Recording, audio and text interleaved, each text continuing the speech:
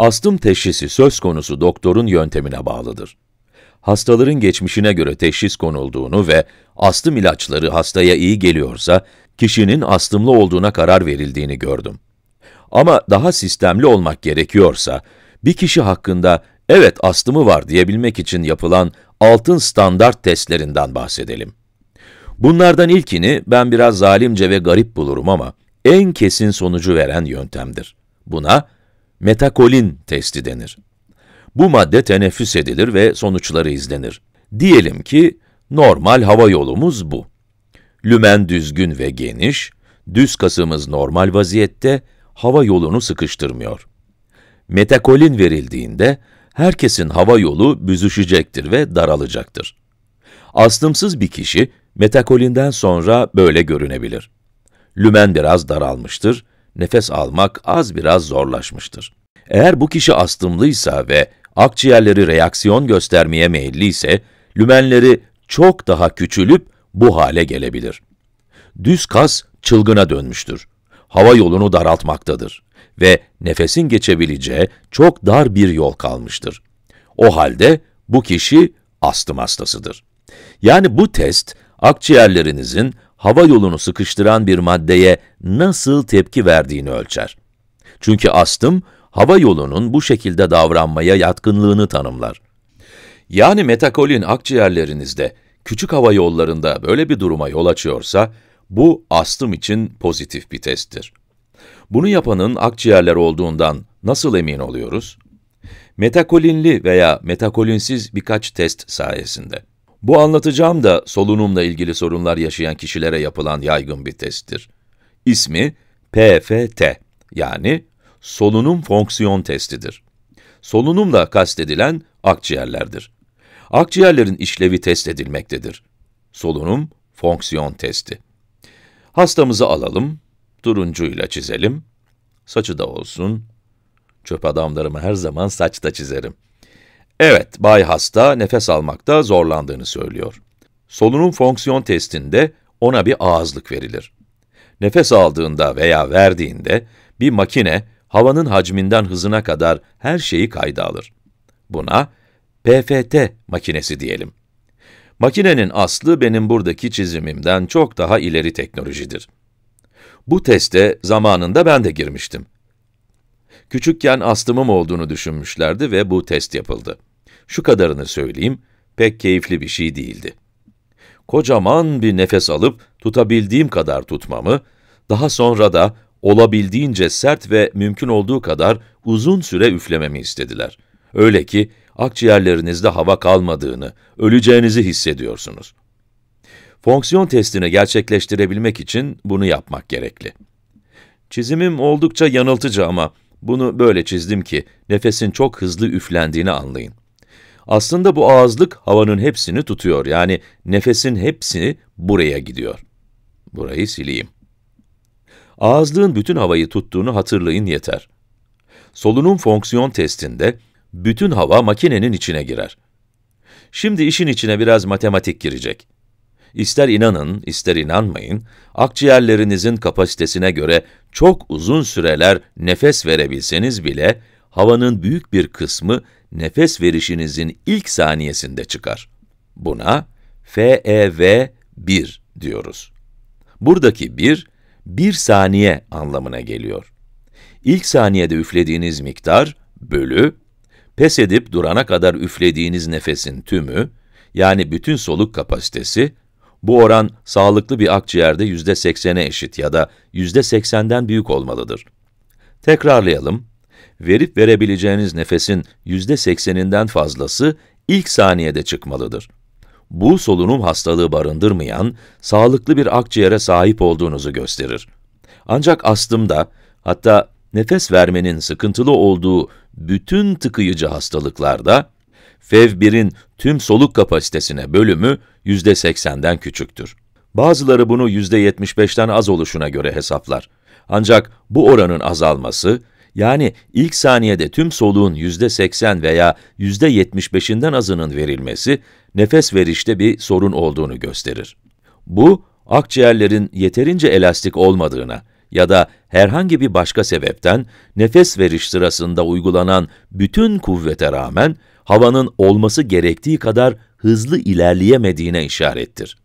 Kuvvet uygulanarak yapılan bu oranlı soluk kapasitesi testi, bu aletle yapılan testlerden sadece biridir. Bu teste spirometre deriz. Spirometre, metakolinli ya da metakolinsiz her zaman yapılabilir. Matematiksel olarak bu sayılar, akciğerlerinizin siz nefes verirken nasıl davrandığı hakkında çok şey söyler. Şimdi de zirve akım testinden bahsedelim. Bu test aslında sadece astım teşhisi için yapılmaz. Astımlı kişiler hastalıklarını takip etmek için de bu testi yaparlar. Zirve akım. Bu testi herkes yapabilir ve akciğerlerinin tam kapasitesini öğrenebilir. Tam kapasitenizi öğrenince, zirve akım testini her yaptığınızda ve nefes verdiğinizde, alet, azami kapasitenizin hangi yüzdesinde olduğunu anlar. Diyelim ki, bu kişinin astımı var. Bazen, ufak bir reaksiyon gösterebilirsiniz ve henüz nefesiniz tükenmiş gibi hissetmezsiniz. Yani bu aynen trafik ışıklarına benzer. Alet yeşili gösterdiğinde, azami nefesinizin yüzde 80 ila 100 arasındasınız demektir. Hayatınıza devam edebilirsiniz. İlaç kullanmanıza gerek yoktur. İyi durumdasınız. Bir sonraki seviye elbette sarı. Bu, dikkatli olmanız gerektiğini gösterir. Bu seviyedeki kişi, büyük bir ihtimalle bazı belirtiler gösteriyordur. Nefesi kesiliyor gibi oluyordur, öksürüyordur ya da belki burnu akıyordur veya başka rahatsızlıkları vardır. Burası, soluğunuzun azami yüzde 50 ile 80 arasını kullanabildiğinizi belirtir. Hava yollarınızı açmak ve yeşil seviyeye dönmek için ilaç kullanmanız iyi bir fikir olabilir. İlaç alın, 10-15 dakika bekleyin, tekrar alın ve bakın, yeşile geri dönmeye çalışın demektir. Kırmızı da elbette dur demek. Kırmızı, azaminin yüzde ellisi demektir. Birisi yüzde ellinin altındaysa, hastaneye gitmelidir. Daha kuvvetli bir ilaca ihtiyacı vardır. Bu esasında astımıyla ilgili derhal bir şeyler yapması gerektiğine dair bir alarm sinyalidir. Büyük ihtimalle bu test aletine de ihtiyaç yoktur. Çünkü birisi yüzde ellinin altındaysa zaten çok kötü vaziyettedir. Göğsü sıkışır, nefes almakta zorlanıyordur. Yani konuyla ilgili acilen bir şeyler yapması gerekiyordur. Durumunuza özel olmayan ama yine de kullanabileceğiniz başka testler de vardır. Bazen insanlar röntgen çektirir. Astımlı kişilerin röntgeni normal çıkar. O halde niye bunu yaparlar? Çünkü herkes astımı olduğunu bilemez. Röntgen insanların akciğerlerine bakmaları, başka bir sorun olup olmadığını görmeleri için iyi bir fırsattır. Çünkü semptomlar benzer olabilir. Bu kişi zatürre olabilir. Akciğerlerinde sıvılı enfeksiyon bulunabilir. Belki de bu yüzden nefes darlığı çekiyorlardır. Ya da belki de yabancı bir cisim barındırıyorlardır ve bu yüzden nefes alamayacak gibi hissediyorlardır. Sıvı olabilir, mukus olabilir. Pneumotoraks da olabilir. Bu durumda akciğerler kısmen iflas etmiştir. Bütün bu durumlar röntgende görülebilir. Bu yüzden bazen birisi nefes darlığı şikayetiyle geldiğinde diğer olasılıkları da gözden geçirmek için röntgen çekilir. Bunlar farklı şekillerde tedavi edilirler. Bazen insanlar stres testine girer. Bu kalbinizi test ettiğiniz kardiyak stres testine benzer. Akciğerlerinizi test eder. Bazı insanların stres ya da egzersiz kaynaklı astımları vardır. Bu kişi koşu bandında yürüyor diyelim terlediklerini ve zorlandıklarını görürüz. Acaba bu astımlarını, nefes alışlarını kötüleştiriyor mu? Çünkü bu durum egzersiz kaynaklı astıma işaret eder. Son olarak nitrik oksit testinden bahsetmek istiyorum. Nitrik oksit bir gazdır. Nitrojen ve oksijenden meydana gelir. Kimyasal sembolünü yazalım. Nitrojen N ile, oksijen de O ile gösterilir nitrik oksitte NO'dur. Bu test, astımı olduğu düşünülen kişide astım ilaçlarının faydası olup olmayacağını anlamak için yapılır. Nitrik oksit, astım için standart bir tedavi olan kortikosteroidin hastada işe yarayıp yarayamayacağını gösterir. Burada bir astım spreyi çizmeye çalışıyorum. Yukarıdaki düğmesine bastığınızda aşağıdan buhar çıkar ve astımlı kişi bunu içine çeker. Bu ona iyi gelir.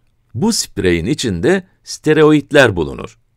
Bazen steroidlerin bu kişiye faydasının dokunup dokunmayacağını ya da ne kadar almaları gerektiğini bilemeyiz. Nitrik oksit bize bunu söyler. Genleşen, hava yolunu genişleten ve düz kasları rahatlatan nitrik oksit teneffüs edilir. Nitrik oksit işe yarıyorsa, kortikosteroid de işe yarayacaktır. Nitrik oksit terapi amaçlı kullanılmaz. Kimse her gün nitrik oksit soluyamaz. Ancak kısa vadede nitrik oksit solumak, steroid tedavisini soluduklarında ne olacağını gösterir. Yani bu teşhis amaçlıdır. Ancak aynı zamanda tedaviye de yardımcı olur.